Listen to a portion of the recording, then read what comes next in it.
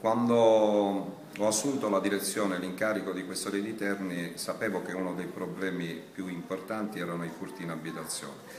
Abbiamo affrontato questo tema su una duplice eh, direttiva. Da una parte l'attività di prevenzione con le volanti dispiegate sul territorio, dall'altra una ficcante e accurata attività investigativa che oggi fa stare più sereni i cittadini di Terni perché riteniamo ragionevolmente di aver disarticolato una vera e propria organizzazione dedita ai furti nelle abitazioni della città di Terni e pensiamo di potergliene attribuire almeno un paio di centinaia, almeno, quindi un numero estremamente importante.